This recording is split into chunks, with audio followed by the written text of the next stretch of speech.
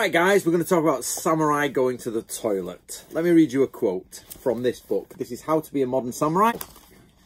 Um, a samurai in ancient days said the following When you build a toilet, build it high enough so that samurai can use it while they have their personal banners on their backs. And remember, they are also wearing large crested helmets and allow room for their swords as they turn around. I've put that at the step four, building a fortress, because it shows about just the practicalities. But this brings on to the question of how does samurai actually go to the toilet? Now, this video was suggested to me by Black Eagle, who was a commentator here, and I think he wasn't being serious. I think he was trying to take the mic because I noticed, I think it's his comments that are usually quite horrible. So, but actually, it's a good point. So, there's a big problem.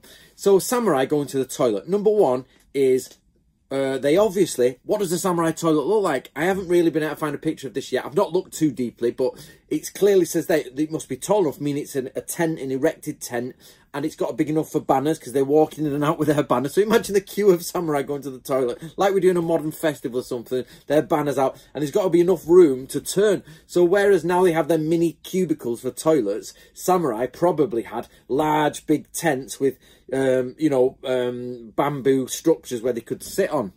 Hold on. Sorry. Uh, bamboo structures where they could sit on and then go to the toilet. But of course, you've got to be able to move your sword. But there's also another problem. In many of the manuals, there's a picture that of a loincloth. Now, the loincloth, very much, you put it over your neck, you put it round, up over your bum and tie it quite tight.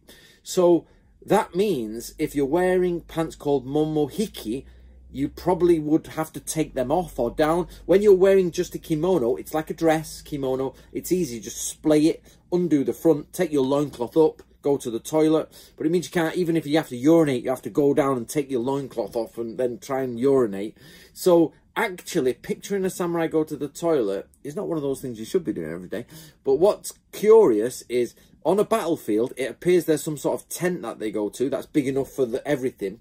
But when you're actually wearing pants, which a lot of samurai did in armour, they wore pants, you're going to have to take the pants off and then undo the um, undo the loincloth. But this must all be done lower down. You mustn't be able to untie anything. It must all be separate at the bottom. Um, whereas with the larger kimono in just normal days, not. So it's a bit of a quizzical one. We have um, Japanese loincloths. Uh, you have the idea of the pants what about hakama? You're gonna have to take the hakama off, then the loincloth off, and there's under trousers on the on the hakama, so it's quite difficult. So guys, that's just a quick video, just for fun, just to sort of reply to one of my, I think he's one of my haters. But it's the big problem of how does samurai go to the toilet. Now, I did my master's degree in archaeology. I did my main degree in ancient history and archaeology. I did archaeology, but it's these types of questions that archaeologists ask, even though I'm doing it from a historical point of view. The questions are is, how did people go to the toilet? Where did they go to the toilet? How did they get undressed? What clothes did they wear? We're looking at physical things. So there you go, guys. Get yourself a copy of How to Be a Modern Samurai. And just, whenever you're following the way of the samurai, always remember those those those little things that we need to understand. Sorry for the bright sunlight. Which is um, exactly how did the samurai do certain things. Tie their shoes.